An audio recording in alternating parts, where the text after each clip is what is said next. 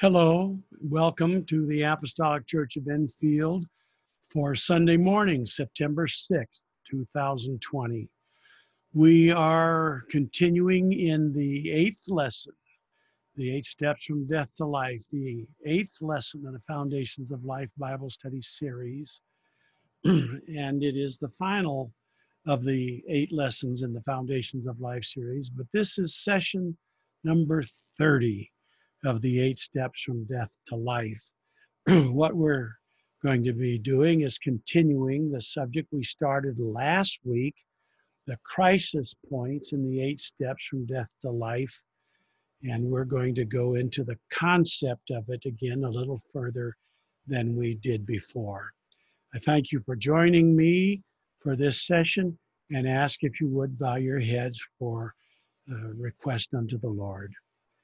Lord Jesus, thank you for your word. Thank you for giving us an understanding of your ways, Lord. We appreciate knowing more than just what you do, but knowing why you do them and how you do them. Not talking about the mechanics of it, Lord, but the purpose and the process. We thank you for your instruction today, and I ask you bless this audience in Jesus' name. Amen. Thank you. And uh, you may be seated. I'm going to begin by sharing with you the purposes for crisis points. The purposes. Crisis points do not reveal anything to the Lord, but they are for your edification the Lord, of course, knows everything already, but you have need of learning and being built up. Crisis points in the eight steps from death to life are designed to reveal to you areas of your own life that you have not yet submitted to the Lordship of Jesus Christ. Crisis points reveal the areas of your life which will cause you greater problems down the road if you don't get them fixed. And remember that God uses temptation, which crisis points are, to build spiritual power into his people. Tribulation worketh patience, and so on crisis points are not opportunities for failure, they are opportunities to succeed. Crisis points are, in fact, God given opportunities for you to repent. Godly sorrow worketh repentance to salvation. The sorrow of the world worketh death. And God given opportunities to repent come during crisis points. Crisis points give you new opportunities to submit to the Lordship of Jesus Christ and receive power to overcome. Crisis points present you opportunities to strengthen your godly life by denying yourself and submitting to the principles of living that have been established by God. Crisis points are not to be feared. Somewhere along the way, you are going to be reminded that you're not yet perfect. You're going to be reminded that you still need a whole lot of Holy Ghost help and you still need a pastor and you still need the fellowship of the saints to help you on your way. Your wrong response in the crisis can produce very negative effects in your life. Understand that the Lord Jesus Christ intends nothing but good for you, but yourself can make a tragic mess out of a great opportunity. And we need to look at temptations and crises, crisis points differently if we're going to survive them. We're not going to look at them as opportunities to fail. Remember that God uses temptation to build spiritual power into his people. If you know where the crisis points are in the road and you choose to submit to the Lord Jesus Christ, you are ultimately going to arrive at the glorious destination. But if you choose to do your own thing, you're going to be grabbing on to the cursing side of God's sword. There is a blessing side and a cursing side. And each time he speaks, you get a choice to grasp one side or the other. Say, Praise the Lord, if you would. So don't do your own thing.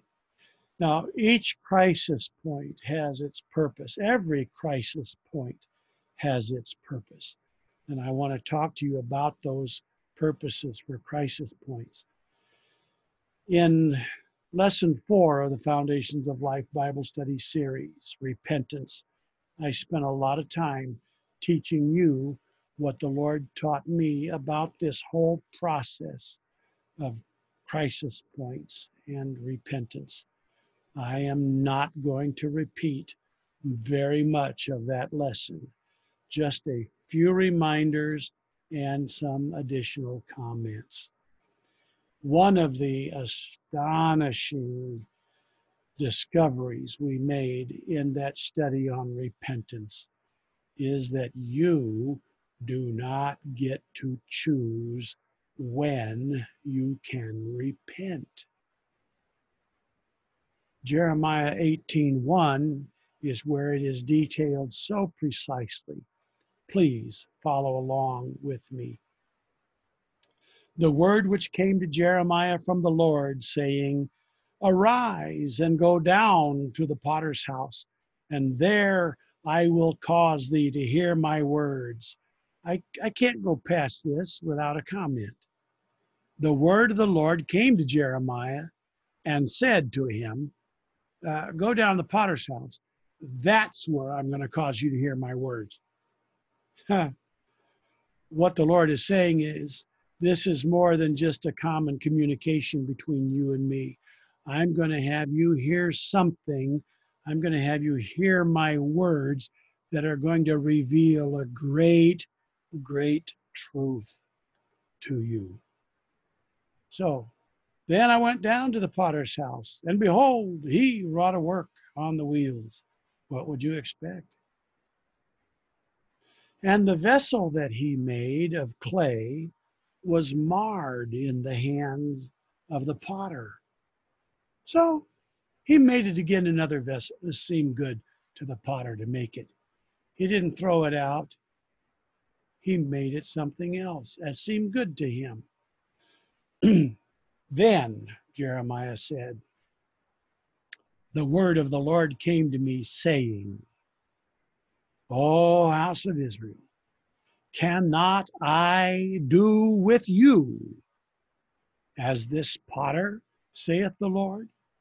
Behold, as the clay is in the potter's hands, so are ye in mine hand, O house of Israel.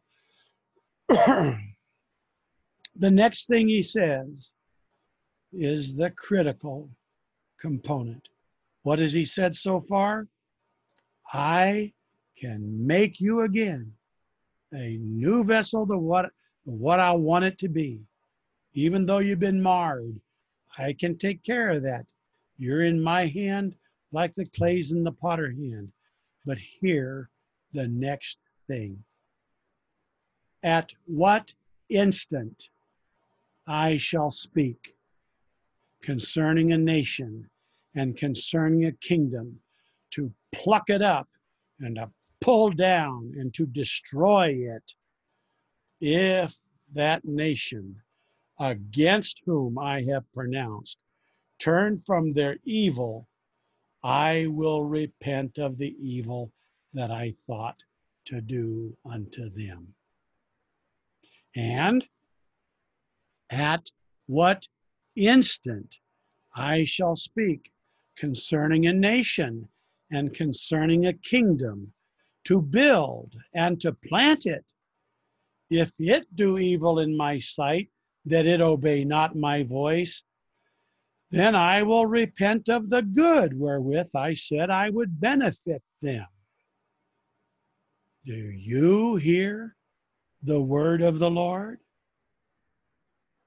He told Jeremiah to tell his people when they have an opportunity to repent.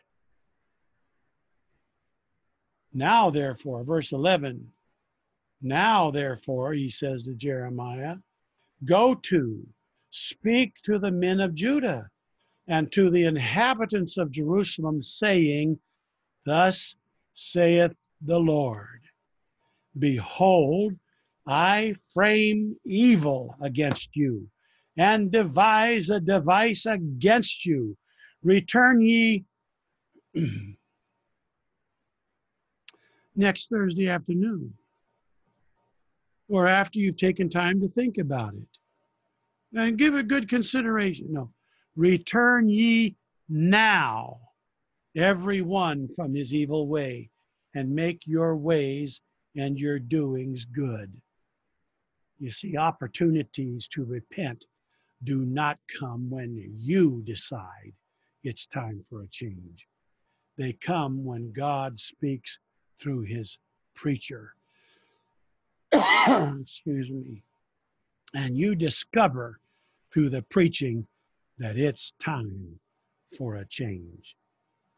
At what instant I shall speak it's not during the week I spoke or in the month after I speak. It's at what instant I shall speak. Hebrews 4 and 12 tells us that the Word of God is quick, living, and powerful, and sharper than any two edged sword, piercing even to the dividing asunder of soul and spirit and of the joints and marrow, and is a discerner of the thoughts and intents of the heart. Please think about this.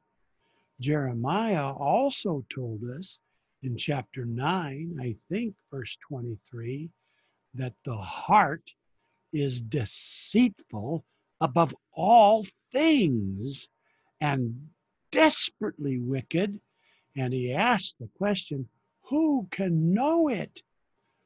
The Word of God can know it and does know it. The Lord Jesus Christ knows your heart. You only think you know your heart, but it is more deceitful than any deceiver you've ever encountered in your life, and you cannot know your own heart. But the Word of God does. It's sharp enough to discern the thoughts and the intents of the heart. So God sent Jonah, and he sent Jonah to deliver the Lord's word of terrible judgment to Nineveh. Jonah 1 1. Now the word of the Lord came unto Jonah the son of Amittai, saying, Arise, go to Nineveh, that great city, and cry against it, for their wickedness is come up before me. Chapter 3 and verse 1 says, And the word of the Lord came unto Jonah the second time, saying, Arise, Go unto Nineveh, that great city, and preach unto it the preaching that I bid thee. Hey, folks, it's a good idea not to preach what he didn't bid you to preach. You're his messenger, not your own. So Jonah arose and went unto Nineveh according to the word of the Lord. And you know the whole story of how that process worked. And in verse 4, it says, And Jonah, chapter 3, verse 4, and Jonah began to enter into the city a day's journey. And he cried. That doesn't mean wept, it means he called out. He yelled out loud. He cried and said, Yet 40 days, and Nineveh shall be overthrown. Jonah came to Nineveh and delivered the totally negative word of the Lord concerning their coming destruction. There were no ifs, ands, ors, or maybes, yet 40 days, and Nineveh will be overthrown. It's going to happen. This was a crisis point for Nineveh. It was an opportunity for the Ninevites to repent.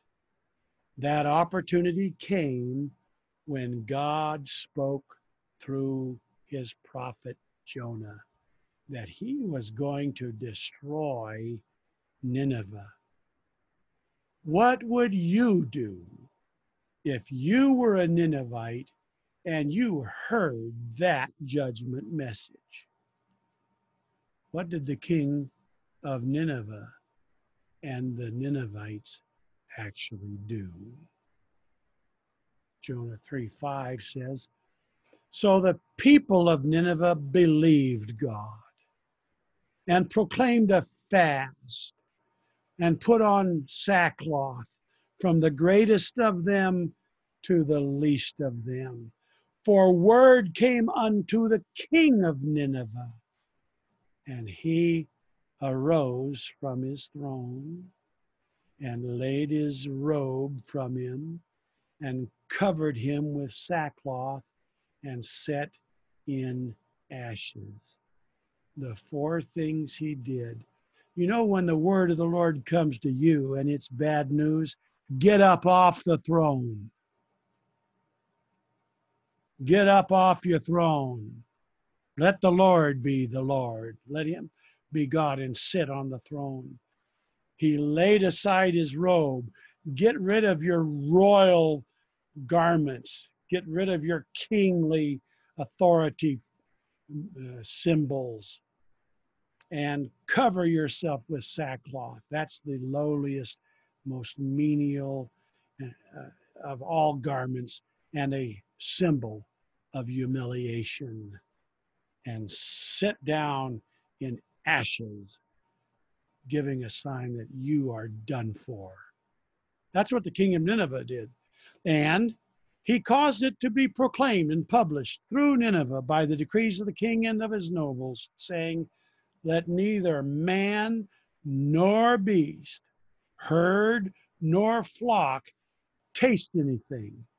Let them not feed nor drink water, but let man and beast be covered with sackcloth, and cry mightily unto God.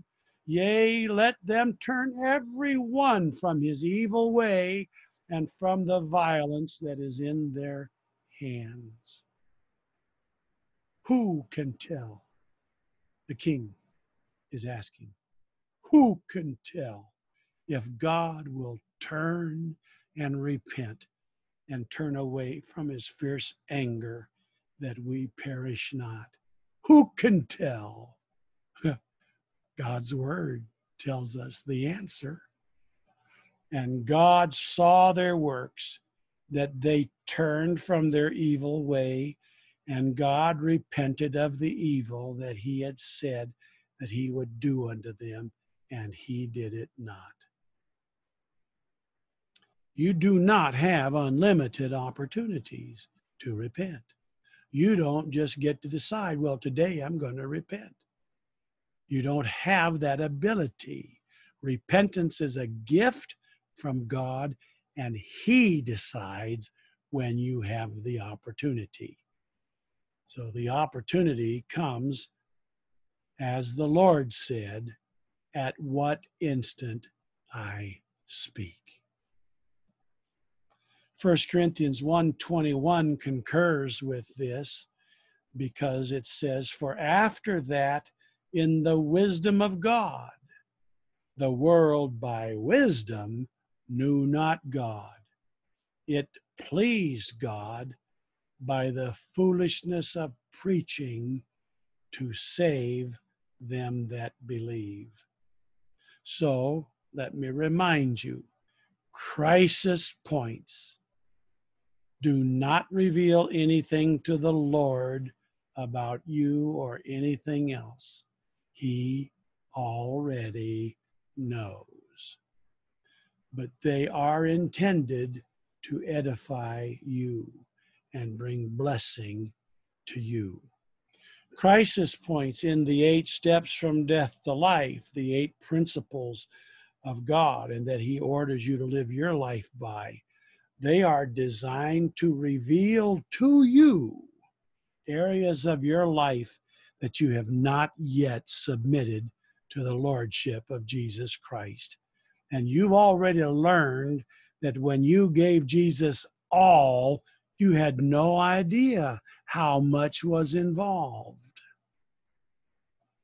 Crisis points reveal the areas of your life which will cause greater problems down the road if you don't fix them when they're brought to your attention. Remember, God uses temptation to build spiritual power into his people. He doesn't tempt you with evil. He tempts you, and in the temptation, he gives you a way of escape, obedience to him, where he makes the change in your heart and empowers you to overcome the problems. Crisis points are not opportunities for failure like the devil would like you to believe, and like preachers have always told you. They are not opportunities for failure. You need to understand that problem, that crisis, that temptation is an opportunity to succeed. Crisis points are God given opportunities for you to repent. Crisis points give you new opportunities to submit to the Lordship of Jesus Christ and receive power to overcome. Crisis points present you opportunities to strengthen your godly life by denying yourself and submitting to the principles of living, the eight steps from death to life that have been established by God. Now, crisis points are used as a means of culling the crowd. And I want to talk to you about that. It's very important the Lord uses crisis points to call the crowd, to minimalize the multitude. Calling the crowd separates some from the others, it removes some from the whole. His methods, the Lord Jesus's methods, often were opposite of what we think would be best. Jesus refused publicity and human promotion time and time again, just the opposite of what we do.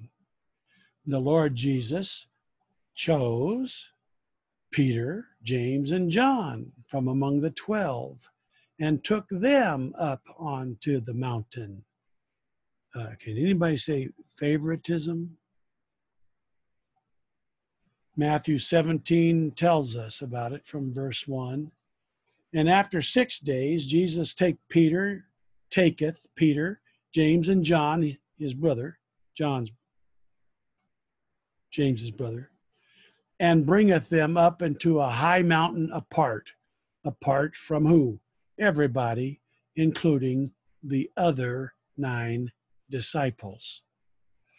And was transfigured before them, and his face did shine as the sun, and his raiment was white as the light.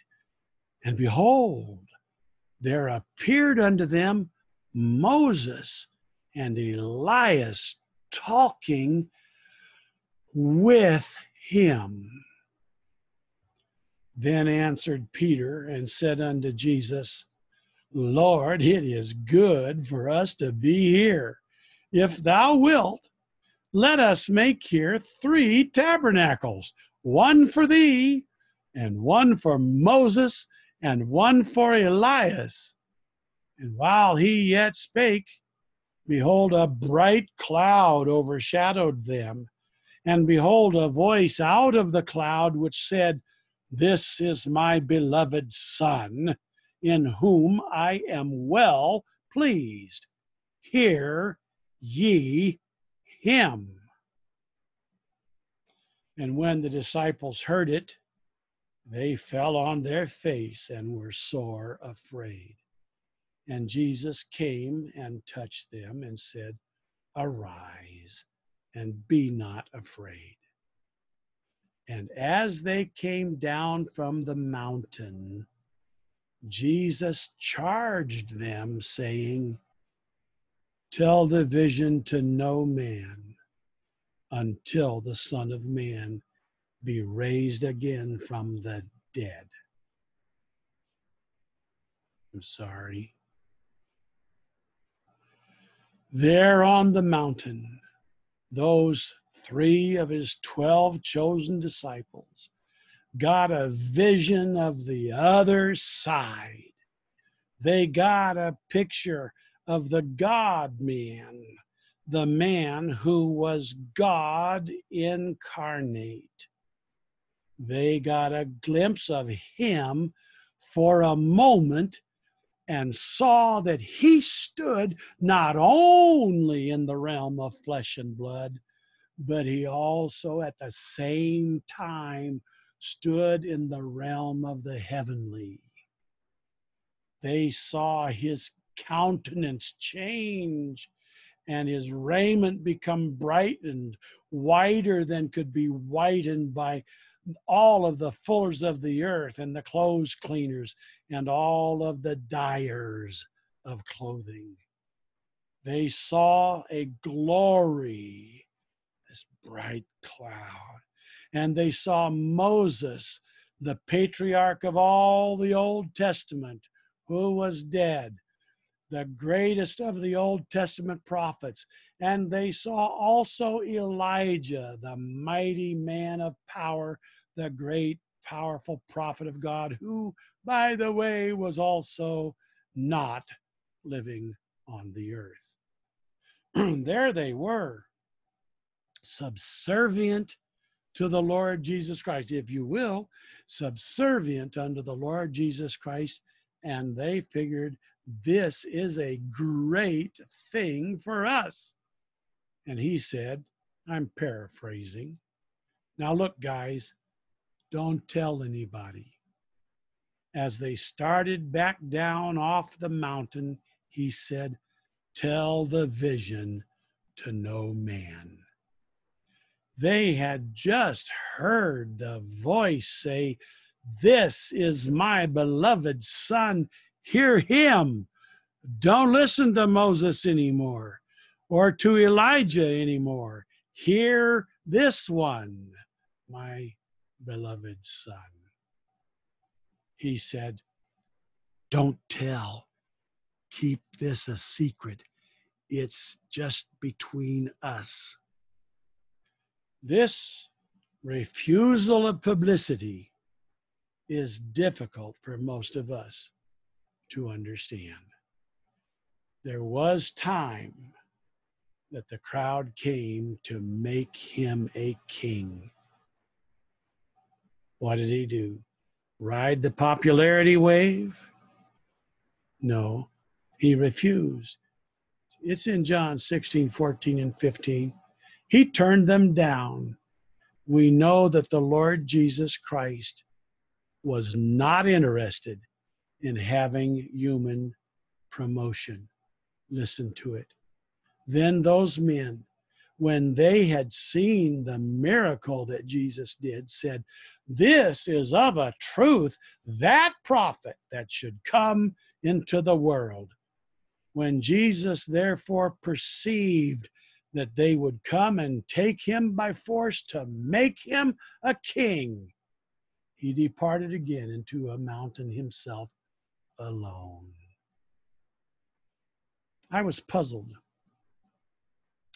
by the obvious fact that Jesus was not looking for nor accepting human exaltation. And there was something more to it that I did not understand. I was also puzzled by the fact that the Lord Jesus Christ spent all night praying before he chose those 12 men to be his apostles. What would God incarnate need to spend time praying for to figure out who to choose? I was also puzzled by the fact that the Lord Jesus Christ, late in his earthly life, would say, Have not I chosen 12, and one of you is a devil? Don't you think I know who I have chosen? There was some calculation that went into the choosing. In the latter day of his life, he said, You have not chosen me, but I have chosen you. He repeated that to them a couple of times, and you can find that in John chapter 15. He did that with thought. It wasn't just a spur of the moment idea. He had thought about what he was going to do. I've been puzzled by many things in the life of Jesus Christ. He's the one who's come to usher in a kingdom. And you know, you need territory if you're going to have a kingdom. But more than that, a barren desert is not much of a kingdom no matter how vast that barren desert is, without people, it's not much of a kingdom. Jesus came to institute a kingdom. You would think that his goal would be to gather a crowd. We are trying to build the church. Isn't the idea to get as many people as we can? Isn't every individual a soul that counts for something? Don't we measure our success by the numbers of people we get baptized and filled with the Holy Ghost and coming to our church? I was puzzled by Jesus. Yes, we do those things, it all seems true.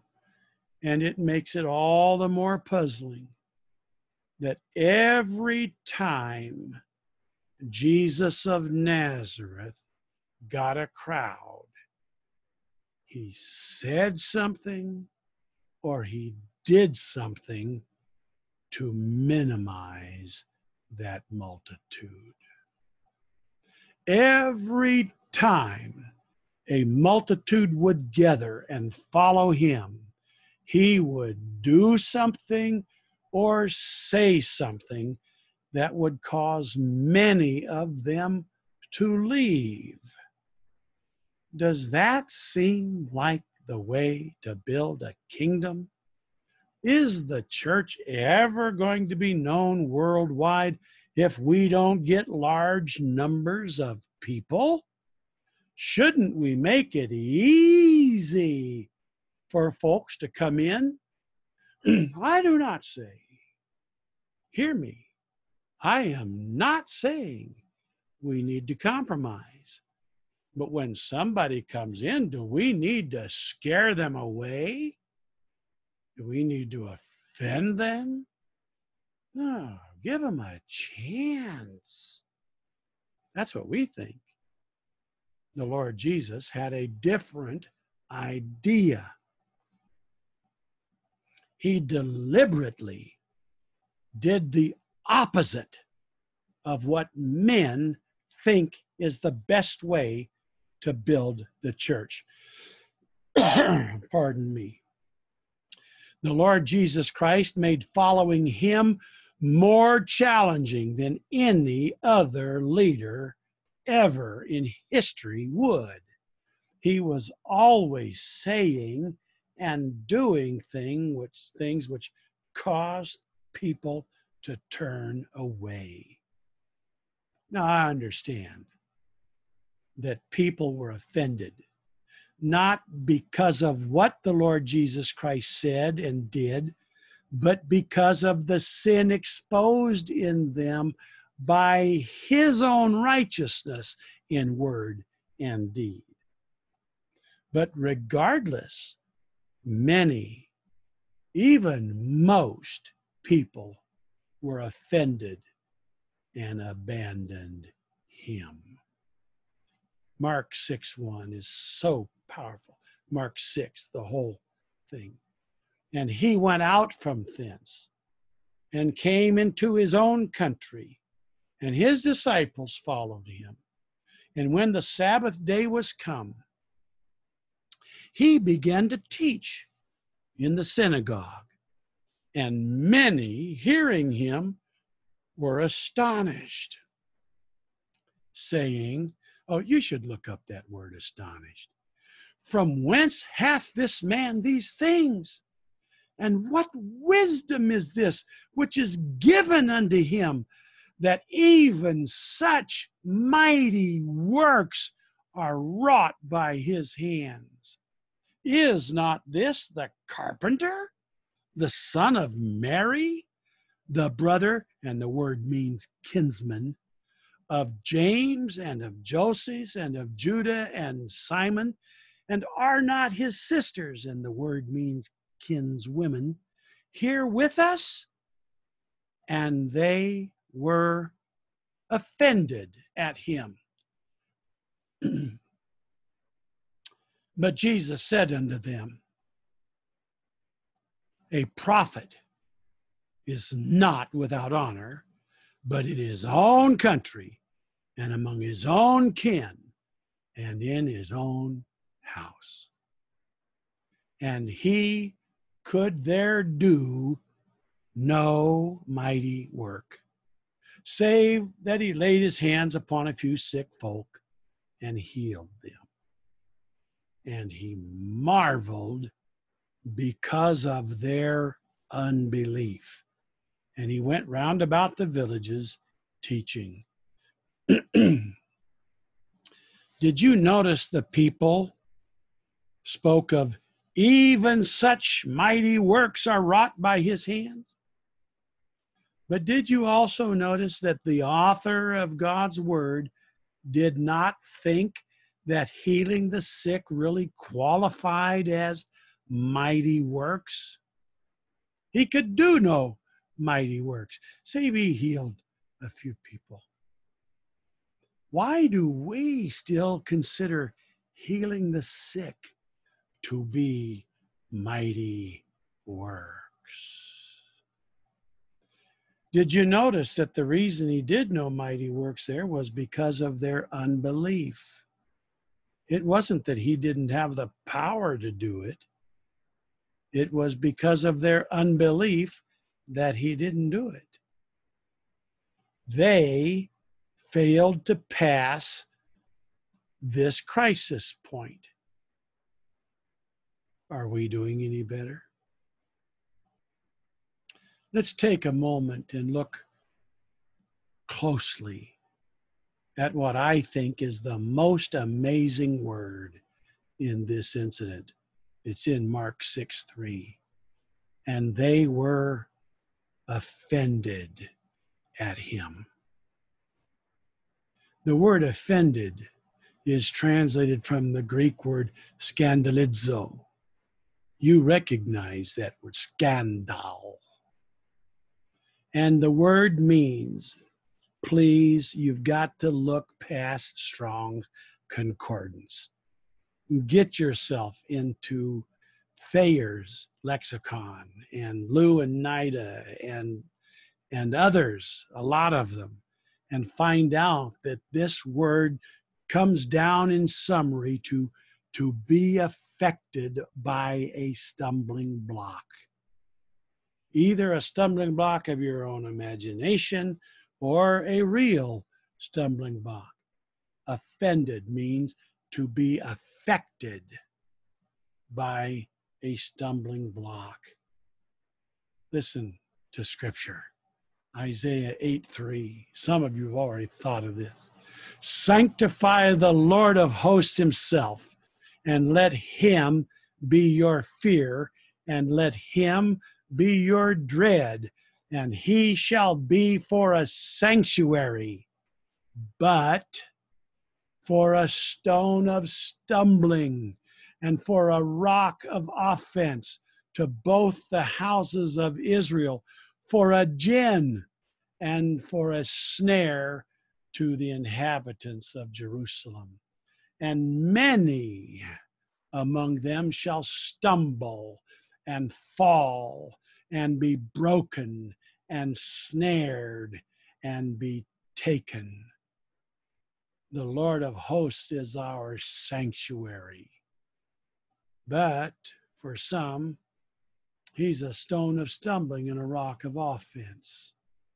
First Peter 1:25 repeats it, but the word of the Lord endureth forever, and this is the word which by the gospel is preached unto you.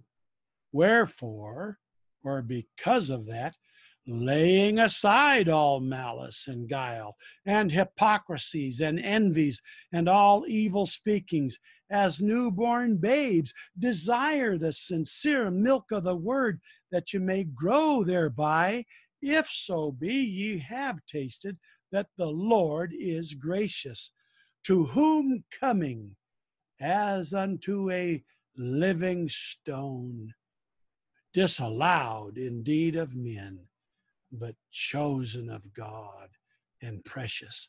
Ye also, as lively stones, are built up and spiritual house and holy priesthood to offer up spiritual sacrifices acceptable to God by Jesus Christ. Wherefore, or that's why also it is contained in the scripture Behold, I lay in Zion a chief cornerstone, elect, precious, and he that believeth on him shall not be confounded. Unto you, therefore, which believe, he is precious. But unto them which be disobedient, the stone which the builders disallowed, the same is made the head of the corner and a stone of stumbling and a rock of offense, even to them which stumble at the word, being disobedient, whereunto also they were appointed. But ye are a chosen generation, a royal priesthood, and holy nation, a peculiar people, that ye should show forth the praises, the arete virtues, the reasons he's praiseworthy, the praises of him who hath called you out of darkness into his marvelous light, which in time past were not a people, but are now the people of God, which had not obtained mercy, but now have obtained mercy. Do you notice that these scriptures identify the Lord Jesus Christ as the Lord of hosts? Ah. Isaiah 28 16 also speaks about this. Therefore, thus saith the Lord God Behold, I lay in Zion for a foundation, a stone, a precious cornerstone, a sure foundation. He that believeth shall not make haste. That means he won't be in a hurry to escape problems.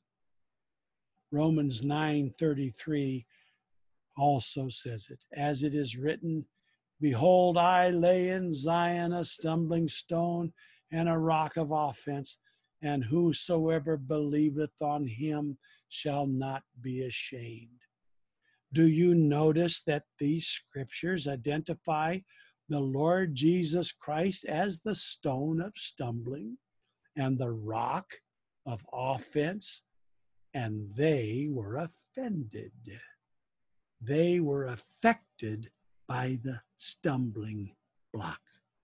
Many people shall stumble, fall, be broken, snared, and taken when they come to the crisis point of encountering Him for who He is.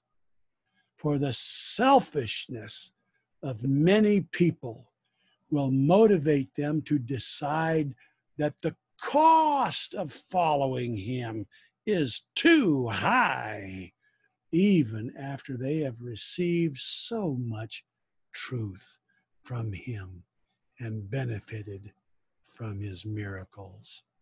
Listen to Isaiah 28 9 to get a perspective. Whom shall he teach knowledge? And whom shall he make to understand doctrine? Them that are weaned from the milk and drawn from the breast. For precept must be upon precept, precept upon precept, line upon line, line upon line here a little and there a little. For with stammering lips and another tongue will he speak to this people to whom he said, This is the rest wherewith ye may cause the weary to rest, and this is the refreshing. Yet they would not hear. But the word of the Lord was unto them precept upon precept, precept upon precept, line upon line, line upon line, here a little and there a little, that they might go and fall backward and be broken and snared and taken. There is nothing good about going, falling backward, and being broken and snared and taken. Such people are being culled from the crowd that was following him. We will learn more about this particular crisis point later in the lesson when we examine it in greater detail. Just a few more minutes. I was taught and trained that we are supposed to gather a crowd, and the larger the crowd, the better. I was taught and trained that we had a greater chance of victory if our army outnumbered the enemy. But I noticed that every time the Lord garnered a larger crowd, he said or did something that resulted in many of them turning away from him. I was always confused by this behavior of the Lord Jesus Christ. He often did things and said things that caused people to abandon him. There are other examples of Jesus doing or saying something uncomfortably shocking and one of them happened during what is commonly called the Last Supper. You read about it in John 13 24. Simon Peter therefore beckoned to him that he should ask who it should be of whom he spake. He then, lying on Jesus' breast, saith unto him, Lord, who is it? Jesus answered, He it is to whom I shall give a sop when I have dipped it. And when he had dipped the sop, he gave it to Judas Iscariot, the son of Simon. And after the sop Satan entered into him. Then said Jesus unto him, That thou doest, do quickly. Now no man at the table knew for what intent he spake this unto him. The Lord's following words would have been heard as being demeaning, equating the remaining disciples to the unbelieving Jews. John 13 33. Little children, hey, wait, I'm one of your called disciples. I'm going to be apostle.